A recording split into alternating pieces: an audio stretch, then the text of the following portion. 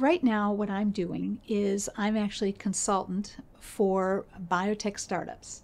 And the biotech startups that I work in are predominantly focused in the area of precision medicine, where they actually take a targeted therapy, uh, pharmaceutical company, and they actually bring a diagnostic, usually molecular RNA, DNA diagnostic, to that, and they work together to bring a product to market.